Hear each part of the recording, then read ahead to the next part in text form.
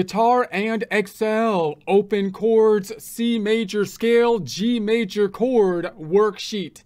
Get ready because it's time for our guitar skills to excel. Here we are in Excel. If you don't have access to this workbook, that's okay because we basically built this from a blank worksheet, but we started in a prior presentation. So if you want to build this from a blank worksheet, you may want to begin back there. However, you don't necessarily need access to this workbook if looking at this from a music theory standpoint because we will simply use it as a tool to map out the fretboard, give us the scale and chords that we're focused in on. If you do have access to this workbook though, there's currently four tabs down below, three example tabs and one OG tab. The OG tab representing the original worksheet we put together in a prior section, it now acting as our starting point, showing the entire fretboard giving us the entire musical alphabet in both letters and absolute numbers, showing the worksheet and the key, allowing us to then change between scales, giving us our worksheet for the scales and chords that are constructed from it on the right. Now, in prior presentations, we've been focusing in on the C major scale and looking at the chords in the C major scale. And we started with, of course, the chord of C, which is in this first example tab. We hid all of the fretboard except for the open position, which I'm defining as the first three frets. We mapped out the key of C, showing the one in green, the three in uh, red and the five in yellow. We talked about the fingering. We talked about the positions. We talked about it on top of the pentatonic scale, it on top of the major scale, and so on. We then moved to the four chord in the key of C, remembering that we're still in the key of C. We're mapping everything out in the key of C, but this time building the four chord, which happens to be an F major chord. We then constructed that in open position, remembering that in this, in one sense, it is an open chord because it's being played in the first three frets, but in another sense, it's kind of, it's a bar chord. Uh, but we constructed it here. We talked about it in relation to the pentatonic scale for the C major uh, scale because we constructed it from the C major scale and we're mapping it out in accordance with the C major scale. We then looked at it in, in alignment to the C major scale for the pentatonic. This was the pentatonic, and this is the full C major scale. And now we're going to do a similar kind of process for the chord of a G major. So now this is what we're going to do. This time we're going to copy over the OG tab and construct this one. Now the we moved this time to the fifth Remember that we skipped the second and the third. We will go back to them. Why are we going to the fifth? Same reason as why we went to the fourth uh, instead of going to the second note first. And that's because the one, uh, four, five, as you can see by the lettering here in uppercase in Greek uh, letters or numbers, are the major scale constructions. So when we construct from a major scale, C major, when we build off of the one, four, five, we end up with a major chord, and those will be related to each other, so it's useful to think about them together. So then we'll map out the shape. We'll map out the shape on top of the pentatonic scale. Again, the pentatonic scale in the key of C major. And then we'll map out the full C major scale and our shape within it. We'll put the two together, and then we'll contrast that to if we were going to construct this in the key of, uh, or, or then we'll take a look at the shape and how it could be movable, and then we will contrast what we have done to us constructing the G major uh, shape or chord if it was the one chord and a scale of G major instead of the scale of C major. So we'll talk about all that as we go forward. This time we're just going to kind of construct the worksheet. So I'm going to go to the OG tab. Here's our OG tab. I'm just going to copy it over. I'm going to hold down control, left click on the OG, and then drag it to the right. And then I'm going to double click on it down here and call this, I'm going to call it blank uh, G. And then I'm going to right click down here and make it white. So the one we're working on will be white. All right, and then in our key up top, I'm going to change it to the key of C again. Now, note, you might think I should have it on an 11, the key of G, because we're focused on the G chord. but we're not constructing the G chord from the G major scale. We're constructing it from the C scale and we're mapping out the C scale. So I still want it in the key of C. We're still on the C major scale, but we're going to look at the four chord, uh, I'm sorry, the five chord, which is going to be uh, the G. All right, now that we have that, I'm going to hold down control and scroll down a little, and I'm just going to gonna let's first get rid of this conditional formatting. I don't want I don't need that yet because we'll do our own formatting. Home tab, style, dropping it down, clearing the rules. And then I'll copy from one down to uh, down to 25. So I'm just copying down to the end of this worksheet. I'm going to copy that over, paste it on top of all the ones below it because the ones below it were mapped out to show the modes I don't want the modes. I just want to redo the same thing over and over again, focusing in on the key of C over and over, but from different angles. So we'll just paste this on down, paste it on down, paste it on down, paste it on down. Okay, so now we have our framework. I'm gonna I'm gonna now look. I don't want to look at it in terms of numbers, so I'm gonna hide from one to 12 right click and hide all that stuff. So now I can just see my fretboard with the letters and the numbers on it. And then I'll make this small and I'll say, okay, now let's hide from open position one to three frets and get rid of all the other frets so they don't confuse us at least at first. And then hide. Okay, and then there's our process. So let's zoom in and check it out. Let's zoom in and check it out. We're going, we're going in with the zoom and out with the checking. So we'll, we'll zoom in and then check it out. All right, so we're gonna say this is gonna be this five right there. And then, okay. And then let's go to the shape fill and say it's a yellow fill. Okay, so first what we'll do is we'll just map, we'll just uh, map out this shape. Now, just a quick note, once again, we're building a C, a G major chord. I know it's a G major chord because when I constructed it, even though I constructed it from the C uh, major scale, I constructed it from here and just picked every other note, which is a B and then a D. And I know because I constructed it from the fifth position of a C major scale, it will construct an interval that corresponds to a, a major chord instead of a minor. In other words, the third is four notes away, uh, as opposed to the two and the three, which will be minor chords, which will third will be three notes away. If I was to compare it to the G over here in the OG tab, if I constructed this using an 11, a G, then you can see that when I think about the notes in the chord, I think about the one, three, five. If it was the one chord, one, three, five of the key of G would be G, B, D, or G here, B, D. Those are the same notes we got over here, G, B, D, but we constructed them starting from the five note of the key of C. Okay, we'll talk more about that later, but I just want to point that out now here because we're focusing in. You want to keep in mind that we're always focusing in on all the notes that are in and constructed from the key of C, even though we're on a G major chord. Okay, enough, enough. Let's go to the Home tab. Let's go to Conditional Formatting and say this is going to be equal to a G, and I'm going to make that green. That's our home key. That's our tonic. That's our root note.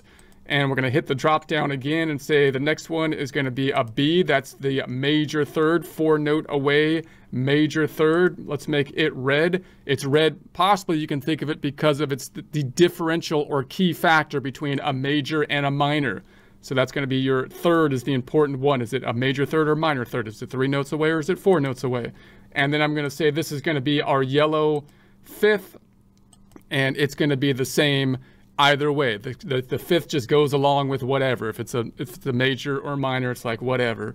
I'm cool with you either one.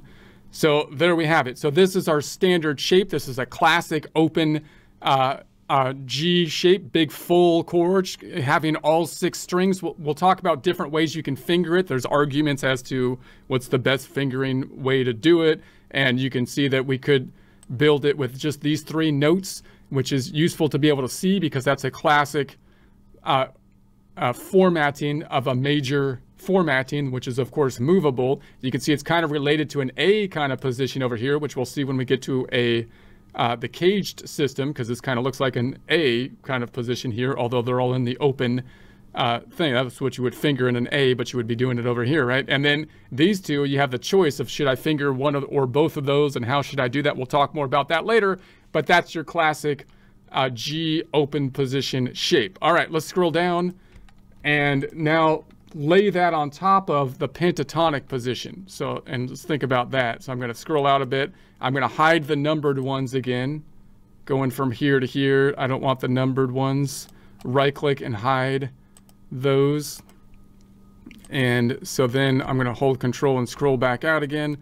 So this time you'll recall that if I'm looking at the key of C, the pentatonic scale is five notes out of the seven, and they are the one, two, three, uh, five, and six. I'm going to make those home tab font group green. Now, remember that I'm looking at the pentatonic scale this time in the key of C because that's what we constructed the the G the G chord from. You could think about switching entirely to the G chord, and we'll take a look about what that would look like later. That's your choice when you're moving from the one chord to the five chord. Like if you're noodling around within the five chord, you could pick up notes that are outside the C scale, but in the G scale, making it sound more G-ish, scale-ish, right? Or you can add notes and noodle around with it, adding notes that are in the C scale, making it more sound more in alignment with the key that you're in, which is the key of C. Okay. Uh, or you can try to make it the tonic, where you're making it the tonic, uh, even though you're playing the C notes, which means you're going to be playing in a different mode. But we'll talk more about that later. Let's go ahead and grab these. I'm going to add the pentatonic scale first. Remember, it's the C pentatonic scale, not the G pentatonic scale. Home tab, let's say equals, and let's pick up the C, and I'm going to make these green. So pentatonic green, and then I'm going to say, boom, this is going to be equal to a D, and I'm going to make that green. That's going to be green, boom, boom. And then we're going to say this is going to be equal to an E. We're going to make that green, boom, boom, boom. And then this is going to be equal to the G. I'm going to make that green. Boom, boom. Oh, not that green. Wrong green. This is going to be uh, G. I'm going to make it, I will make it that green, but later. I subconsciously went forward. I'm getting ahead of myself. I put the the cart before the horse, which I still think the horse should be able to push the cart with its big head, with its giant head, up the hill. That might be a better, I feel like that might even be a better way to put the cart in front of the horse and tell it to push the cart with its head. Anyways, this is this is the shape then that this is the shape that we've seen in the past and now this is the C major pentatonic. Now I'm going to put the the G chord on top of it uh, that we constructed from the C. Now note that these three notes are in the C major chord because we constructed it from C major, but they're not necessarily all in the C pentatonic, meaning this B in particular is not. I can see it right there, right? I can see that clearly. That is not in the pentatonic. So when I, if I was to kind of noodle around with this thing, uh, then I would have to note that the, the, the B here, when I go if I was just doing the pentatonic is not in here. There's the other one. I was like, where's the other one? Right there. And see that, okay, in any case. So let's go ahead and select these and then I'll, I'll add these on top of it. So I'm gonna say this is our scale that we're working it on. This is gonna be this one, this I'm gonna make the other green. This is where I put the other green now. So now it's that green, hopefully that's not too confusing. And then I'm gonna say this is gonna be, the, this one is red, red, and then this one is going to be uh, the yellow. The yellow as has been our formatting. And then I'll just conditional format this here. Green, this is the red one, and this is the yellow. So, so now you could see the pentatonic scale and then adding that B note if, if to get the G fitting on top of it. So now let's do the same thing, but with the whole C major scale. Well, hold on, I need to delete the numbered ones. We don't want the numbered ones, so I'm gonna go from here to here. I'll hide this worksheet. right click and hide. And then I'm going to go up top. Okay, here we go. Let's do it again, but this time with the whole scale in open position of the C major scale, and then we'll put our five note on top of it. So I'll select the whole thing. I'm going to say, all right, let's do this. This time I'm going to build the C major scale. That, and this is the scale that we constructed this chord from. So all of the notes in the chord have to fit within this scale for sure, right? So we got the C, and then we're to say this is to be blue. I'm just to make them all blue this time. And then I'll put the chord on top of it. So I'll make the D, that's to be blue, blue. And then I'm to say, okay. And then like the E is to be blue, blue. This is not the blue note, by the way, in the blue scale. Just want to differentiate to that. I would like to get to the blues stuff later because it really, uh, it's actually quite confusing. People try to say the blues thing is easier, but if you try to figure out what they're actually doing, it's like, what in the world? How does that work? So it's a little, uh, it's definitely not easy, but here we go. And then we're going to say this is this one and this is going to be equal to this one. All right, so there's our there's our our uh, scale. So you can start to see that if you wanted to play just the scales, right? And this is the C major open position scale. Uh, I would call it scale position number four, but some people will use that C as like the root to kind of name the scale around that uh, position. So then I'm going to put on top of that then the C or, or the G uh, chord that we constructed in here. So I'm going to say this is going to be the G. Let's put that as the green. And then that's our the root or the tonic. Here's the red for the third. And here's the D, and that's going to be the yellow. So there we have it. And then I'll conditional format this over here just to finish this out. And we'll look more deeply at this later, but let's just set up our worksheet and prep. This is the prep work. You get to see the behind the scenes prep work for the next one. All right, so there we have it. Now next, just to completely confuse ourselves, let's scroll back a bit and say, what if I put those three together and I try to I try to put the pentatonic on top and, and then so let's hide these first before we start talking about that. Cart before the horse. Cart before the horse. Okay. Okay. Here we go. We're to say then let's now this time we'll we'll construct the pentatonic and then we'll put the the other so I'm going to say the pentatonic are these three notes or five notes five notes penta pentatonic all right, so then we're going to construct uh, on, I'm going to try to build everything on top of each other. So let's say the foundation is once again the C, the, the, the C major, and then I'll put the pentatonic on top of it so you can see how the pentatonic fits in the C major, and then I'll put the, the chord on top of that. So I'm going to say, all right, let's do the same thing we did last time. This equals the, the C. Let's make them all blue first. Blue, boom, boom. Let's copy this thing down here because I'm focused on, that'll tell me where my focal point is on the five chord.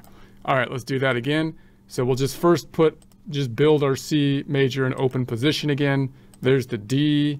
I'll make that blue. Make it blue. My brown eyes, her brown eyes are blue. gonna make this blue. I don't know. They're getting tired here. Let's, let's make that blue. And then we're to say this one is to be blue. And boom, boom. And then this one, did I have a G yet? No. Let's make that blue. Boom, boom, boom. And then we'll make this one A blue. And then boom, boom, boom, boom, And then uno vez más, one more time, por favor, please. Okay, so there's our there's our major uh, scale again. And so now I'm going to put on top of it the pentatonic scale so we can see how that fits in. Remember, we're in the key of C, not the key of G, even though we'll then put the G chord on top of it, which we constructed from the key of C. So now I'm going to say this is going to be, the pentatonic is going to replace some of the blue ones. Let's make that one green. Boom, boom. And then let's make this one, uh, this one, the, the D is a pentatonic type. Undo though, because it shouldn't be red. It should be green. Pentatonic green. D, boom, boom, boom, boom. And then we'll say this is going to be, this one's in the pentatonic. So we'll say, okay. Now the four is not in the pentatonic, as we saw last time when we looked at the F chord. So we skip that one, but this one is in the pentatonic. And so we'll say, the pentatonic is the cool club with all the cool notes are in it. And they just leave out the four and the seven because for they're just mean. They're mean like that. They're like high schoolers or something. And so there we go. So now you've got the pentatonic and yeah, that looks right. And then when I put this one on top, remember that this note is is in the chord, but it's not in the pentatonic, although it is in the major because we constructed this chord not from the G major scale. In that case, the chord would be inside the, both the pentatonic and the major. But in this case, we constructed it from the C. So, so let's just keep that in mind as now I put this one on top. And I go, okay, this is going to be this one. That's going to be a G. Uh, let's make it let's make it green and then boom and then this one is going to be that one is red and then boom this one is the D and it's going to actually it's going to be yellow. Yeah that's how we do it. And then boom. So now I can let's format that over here.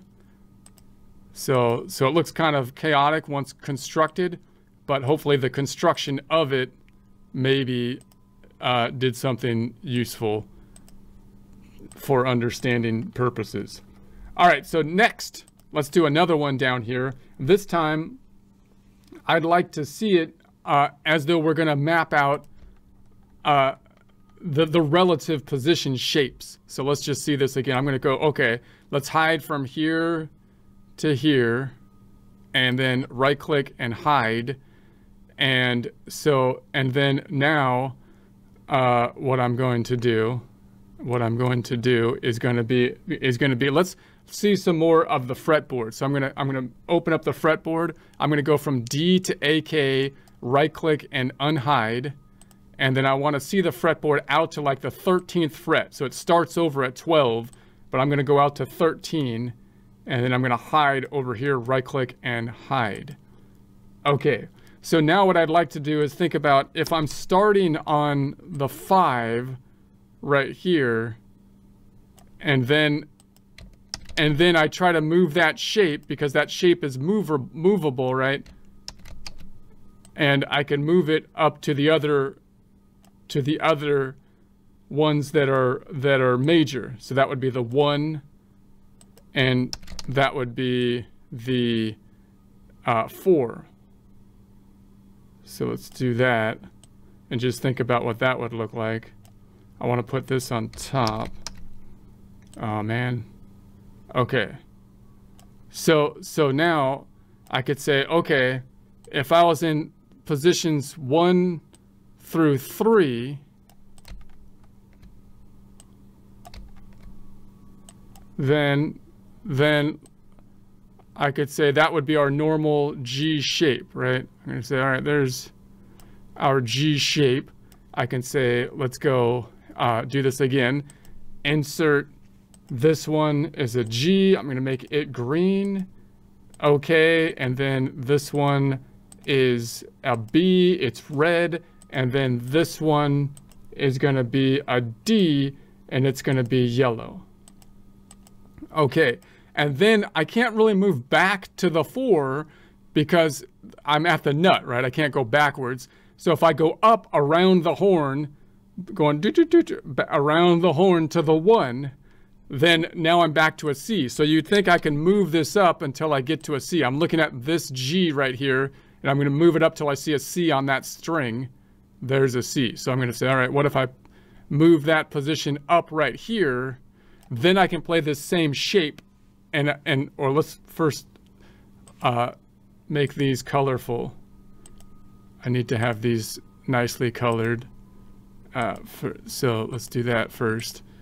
Okay, so then, so now if I move it up to here, I can say, okay, so then if I move this shape up, I should be able to play the relative one position with that same shape, right? Which are going to be these three notes. So I'm going to say, okay, insert, and that's going to be the C is going to be uh, green, and then the this is equal to the E, which is red, and this is equal to the G, which is going to be yellow. So there we have it. Now note you have the same shape here, but now instead of playing a, a G, you would be playing a C. Now a lot of people will say, well, you can't really do that because I can't play an open G up here. It's going to be difficult to play, but you don't have to play all six strings, right? You could just play these strings right here and you'd be, and you'd play in the same shape. You could just play these three strings. We'll talk about that later. This is kind of like an A shape because the A and the G are next to each other. When we talk about the cage system, we'll talk about that later. But you know, you could and you could play, you know, some combination down here. These are on the on the same string, but you you know you could do some combination, and so so that's useful to note. And then if I was up here at the one, I can move that up to the four, right? So I could move it up to the four if I was here and go go. So I'm looking at the four starts as an F. So this C, when I go to an F there's an F. So if I move that same shape right there, uh, then maybe I should have this on. Oh, come on. Come on. I want to include the, uh, the frets in my analysis. Okay. Uh, all right. All right. All right. So there we have, so then we can do these ones. So we can move it up here. Now this is going past the 12th fret, so we start to start over on the 13, but then it just starts over, right? So we can do that if we wanted to. So we're going to say, okay, this is going to be equal to the, the F is green, and then boom, and then the next one is going to be an A, and it's red, and then the next one is going to be a C, and it is yeller, like Old Yeller the dog that died in that sad movie that they made me watch in grade school. Why do you do that? Why are you forcing me to watch the dog die? I had another one like where they made the dog die. Two sad dog dying movies. They tor- when they tortured you in uh, grade school. Anyways, whatever. This is gonna be an F. This is going to be, the A is red. Uh, uh, the A here is red. And then the C is there. So you can see you can move that shape up if you, and, and when you, and we'll talk more about that later, right? You, because you could still think of the C as the tonic. You could move from C to G and then move the G up to the eighth position so that you're basically playing another C, right? There's another way to play the C, and then you can move it up to the F. Or you can start to think of the fifth as the tonic, even though you're playing all the notes in the key of C, and you can play these positions, and then you would basically be playing in a different mode. We'll talk more about that later. But you can practice moving this shape around if you wanted to. We'll talk more about you know how to do that in future presentations. We're focused on the first three frets right now, but just want to introduce that idea and we'll talk more about it in the next couple ones. Now, the next one I, I wanted to do is to just say, well, what if I changed the key? So let's hide some cells first. Let's hide some cells, and then we'll talk about that. Another extremely interesting topic and important to the to everyone. So let's go ahead and hide uh, these, and then I'm going to unhide the key up top. So I'm going to go from N to AK, right, oh man, I missed it. Into AK, right click and unhide. And then I'm going to go into my key and say, well, what if by contrast, I constructed all this stuff in the key of G? So I'm going to change my key to an 11, which now shows me my worksheet now not in the key of C, but in the key of G. What if we did that then? All right, let's check it out. So then I can I can go back up top and let's hide from uh, from uh, the the O 13th fret to our worksheet on the right. Right click and hide. And then I'm going to hide the numbered ones up top. So I'm going to go from here 128 down to here. Don't need that. Right click and hide. Okay, so now let's let's build this as though we're we're at, we're looking at it in the key of G now. So now the G is the one. So I'll say copy, paste. The G uh, uh, the G is now the one. And if I just if I plot it out as the one, it's going to be the same. It's just that now we constructed it from the one and picked every other note, one, three, uh, five, one, three, five. And of course we get the same intervals, so it's the same chord. So we're gonna say, all right, let's do that. Let's say, uh, uh, but, but first, before I plot that, it'll look the same. Let's plot the whole major scale here, this time in the key of G instead of the key of C. So the notes around it will differ now because now I'm playing, because now I'm constructing it from the key of G. Not all the notes in the key of G are the same as the key of C, but the three notes that we're building the chord from, the G major chord, are in both the key of G and C. Okay, so let's, let's do this. Let's select the whole thing and go to the Home tab, drop down. This is gonna be equal to, I'll just make a G, and I'm gonna make this uh, custom color, custom color. I don't like the colors that you have provided. I would like a color that is not on the menu. Okay, I hate to be picky, but what you're giving on the menu is for the common folk, and I happen to be special. So I would like something that is not, that is custom, custom to my particular and more sophisticated needs. All right, Excel. And so I'm just gonna make all of these uh, blue. And then we're going to say this is going to be here. And we'll make this one blue and boom. And then this one is going to be here. And let's make this one blue and okay and uno base mas custom blue, boom. So we have we have different shapes that we'll see when we'll do the comparison. I'll show them later when we get into the future presentations. But we're still, if we focused on this first three frets, we'll still see that although the shape is different than the shape we saw before, if I compare this shape, for example, to this shape, it's not the same shape. It has similar notes, some notes in common, but not all of them. But some of the notes in common will, of course, be these three notes. So let's do that. Let's select this whole thing and then say conditional formatting, put the three notes on top of it. The G, now constructing from the one position, is green. And then the B is red. And then the D is yeller. Just like oldie was. Oldie yeller. Old yeller. All right. And then it could be a young yeller too. That also sounds good. I had a young yeller, but then the young yeller got old. I used to call him Young Yeller.